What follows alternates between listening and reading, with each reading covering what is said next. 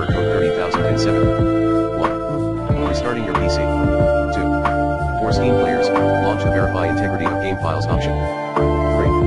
For Windows users, run the following two commands as admin. Vita.exe. Set test signing off Vita.exe set multi checks off 4.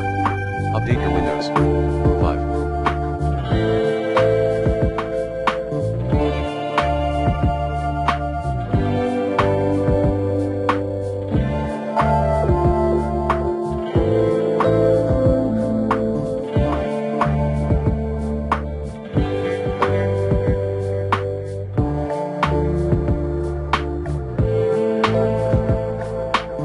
The easy anti-cheat app at c colon backslash program files, x86, folder. Note, choose Elden Ring from the drop menu, then hit the repair button. 6.